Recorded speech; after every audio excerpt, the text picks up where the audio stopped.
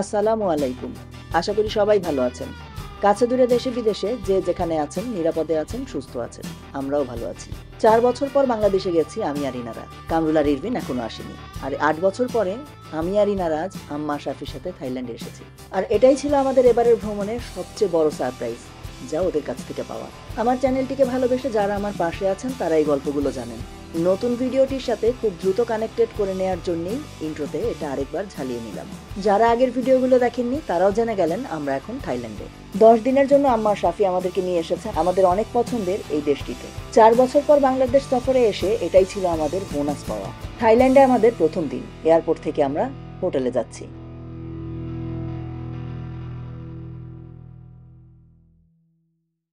প্রবাসী বাংলাদেশ থেকে সবাইকে আমার অনেক অনেক শুভেচ্ছা। থাইল্যান্ডে আমাদের দ্বিতীয় দিন। সকালবেলা হোটেলের কমপ্লিমেন্টারি ব্রেকফাস্ট। যে কোনো হোটেল বাছাইয়ের ক্ষেত্রে আমরা এটাকে অনেক প্রাধান্য দিই, আমরা এটা এনজয় করি। এদের ব্রেকফাস্টটা ভালো ছিল, তবে হোটেলটা কেমন ছিল সে প্রসঙ্গে নাইবা গেলাম। এতটুকুই বলতে পারি, আজ আমরা হোটেলটা চেঞ্জ করছি। আমি আর ইনারা আগেই প্ল্যান করে রেখেছিলাম, থাইল্যান্ডে এসে আমরা মন ভরে শপিং করব। যে কারণে আমরা সুটকেস নিয়ে এসেছি মোটামুটি ফাঁকা। বিশেষ করে ব্যক্তিগতভাবে আমার দারুণ পছন্দ থাইল্যান্ডের এসব টপস এবং শার্ট। আমরা যখন বাংলাদেশে ছিলাম, তখন ব্যবসার কাজে কামরুলকে প্রায়ই থাইল্যান্ড বা চায়নায় যেতে হতো। আর ও যখনই থাইল্যান্ডের প্ল্যান করতো, সঙ্গী হতাম আমরা। কারণ আমাদের অনেক পছন্দের দেশ বারে বারে এই কথাটা আমি বলছি। আর কামরুলের সাথে বারে বারে আসার ফলে যেটা হয়েছে, এখানকার প্রত্যেকটা হোলসেল মার্কেট আমরা খুব ভালো করেই চিনি। আমরা কিন্তু ঘুরে বেড়াচ্ছি তারই একটাই। থাইল্যান্ডে যারা ঘুরতে আসবেন, তাদের ছোট্ট একটা টিপস দেই। যেখান থেকেই কেনাকাটা করুন না কেন হোলসেল মার্কেটগুলো একবার ঘুরে যেতে ভুলবেন না। সেক্ষেত্রে হাতে কিন্তু একটু সময় নিয়ে আসতে হবে। ধরে নিন, পুরো একটা দিন আপনি এখানেই কাটাবেন। মার্কেটগুলো এত বড়, ঘুরে কিন্তু শেষ করা যাবে না। যে সময়টা আমরা থাইল্যান্ডে গিয়েছিলাম, তখন পুরো থাইল্যান্ড জুড়ে চলছে উৎসবের আমেজ। রাজার জন্মদিন। চলছে তারই প্রস্তুতি। মোটামুটি প্রতিটি জায়গায় চোখে পড়ছে এরকম সুন্দর করে সাজানো একটা কর্নার। রাজার ছবি, নানা রকম ফুল দিয়ে সাজানো। রাজার জন্মদিনে থাইল্যান্ডবাসীর ভালোবাসা। মোটামুটি মন ভরে আমরা শপিং করেছি। সে সাথে আবার আম্মা সাফির কাছ থেকে অনেক কিছু উপহারও পেয়েছি। বোনাসের উপর বোনাস। শাফি কিন্তু অনেক লম্বা। তার জন্য টুকটুকে বসাটা একটু কষ্টকর। তারপরেও ইনারার ইচ্ছাকে প্রায়োরিটি দিয়ে সে টুকটুকেই রওনা হয়েছে হোটেলের পথে। যদিও থাইল্যান্ডের পথে ঘাটে দারুণ জ্যাম থাকে মাঝে মাঝেই। তাই টুকটুক যখন থেমে থাকে, তখন কিন্তু প্রচণ্ড গরম। তবে চলা শুরু হলেই দারুণ ভালো লাগে। আমার তো টুকটুক অনেক পছন্দ। টুকটুক নামের এই বাহনটিকে তুলনা করা যায় আমাদের দেশে অটোর সাথে। তাই আলাদা করে এর বিশেষত্ব আসলে ব্যাখ্যা করার কিছু নেই। তারপরে টুকটুক কেন বেশি ভালো লাগে জিজ্ঞেস করলে একটা কথাই বলব। বাহন হিসেবে যতটা না ভালো লাগে বেশি ভালো লাগে নামটা টুকটুক। এবার চলুন আমাদের সাথে টুকটুকে করে কিছুক্ষণ ঘুরে আসি। পুরো শহরটিতে জ্যামের পরিমাণ এবার একটু বেশি। পরে অবশ্য জানতে পেরেছি, রাজার জন্মদিন উপলক্ষে লম্বা একটা ছুটি সামনে আসছে। তাই সবার মধ্যেই চলছে একটা ঘরে ফেরার প্রস্তুতি। ঠিক আমাদের ঈদের মতো। ঈদ এলেই যেমন মনে হতো, স্বপ্ন যাবে বাড়ি আমার। সারা বছর ঢাকায় থাকলেও প্রতিটা ঈদে আমরা চলে যেতাম খুলনায়। সেই খুলনা যাওয়ার একটা প্রস্তুতি থাকতো আমাদের।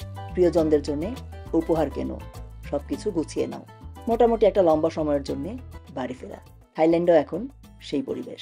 টুকটুক থাকায় কিন্তু রক্ষা। এদিক সেদিক, একে বেঁকে এটা এগিয়ে যাওয়ার সুযোগটা পাচ্ছে। ট্যাক্সিতে গেলে আরও কিছুটা সময় বেশি লাগতো। টুকটুকে বসে উপভোগ করছি আমরা থাইল্যান্ডের ব্যাংকক শহরটি। আজকের দিনের মতো আমাদের আর কোনো কাজ নেই। আজ আমরা আর কোনো কাজ রাখিও নি। মোটামুটি অলস সময়। আমরা রওনা হয়েছি হোটেলের পথে। থাইল্যান্ডবাসীর মতো আমাদের মধ্যেও চলছে ছুটির আমেজ। ব্যাংককের প্রত্যেকটা জায়গায় যেখান দিয়ে যাচ্ছি মনে পড়ে যাচ্ছে কত না স্মৃতি এই পথ দিয়ে এমনি ভাবে টুকটুকে যাওয়ার সময় ইরভিন হারিয়ে ফেলল তার শখের টুপি। মাত্র কিনে আনা সেই টুপিটা বাতাসে উড়ে চলে গেল অন্যদিকে। ব্যস্ত রাস্তায় টুকটুক থামিয়ে সেই টুপি খুঁজে আনা সম্ভব ছিল না। মন খারাপ নিয়ে ইরভিনকে ফিরতে হয়েছিল হোটেলে। আমাদের সেই সফরে সঙ্গী হিসেবে সাফিও ছিল। ঘটনাটা সেই মনে করল। আসলে প্রত্যেকটা পদে পদেই আমরা মিস করছি ইরভিন আর কামরুলকে। মিস করছি বাবাকে। যাই হোক, অবশেষে আমরা পৌঁছে গেছি হোটেলে। সকালে শপিং এ বের হওয়ার আগে আমরা হোটেল চেঞ্জ করে গিয়েছি। আমি আর ইনারা যে রুমটিতে থাকছি, তার জানলা দিয়ে চোখে পড়ল পাশের বাড়ির আঙিনা। বিশাল আম গাছ। থোকায় থোকায় ঝুলে আছে কাঁচা আম। বাংলাদেশে গিয়ে কিন্তু এরকম গাছে আমের দেখা আমরা পাইনি। কারণ সেই সিজনটা শেষ হয়ে গেছে। তবে এই আম গাছটি আমাকে অনেক কিছু মনে করিয়ে দিল। মনে করিয়ে দিল আজ ডেভেলপার কোম্পানির তৈরি করা হাইরাইজ বিল্ডিংটি যেখানে সুউচ্চভাবে মাথা উঁচু করে আকাশের দিকে তাকিয়ে আছে, ঠিক সে জায়গাটাতেই নানা গাছপালায় ঢাকা ছিল আমাদের বাড়িটি।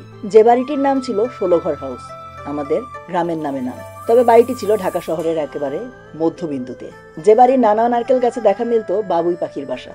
যে বাড়ির সুপারি গাছের সুপারি ছড়তায় কেটে দুপুরবেলা পান খেতেন দাদু। আর তার সঙ্গী হতাম আমরা নাতি নাতনিরা। যে বাড়িতে ঝড়ের দিনে আম গাছের নিচে চলতো আমাদের ছুটোছুটি। ঠিক একেবারে যেন বইতে লেখা কবির সেই লাইনটির মতো, ঝড়ের দিনে আম পুরানোর সুখ। যে আম দিয়ে আবার দাদু এবং মা চাচিরা তৈরি করতেন বয়ম ভর্তি ভর্তি করে আচার। হোটেলের রুম থেকে দেখা সামনের এই বাড়িটি মনে করিয়ে দিল ছেলেবেলার সেই বাড়িটির কথা, যে বাড়িটি আর কখনোই ফিরে পাবো না। কখনোই ফিরে পাবো না সোনালি সেই দিনগুলো।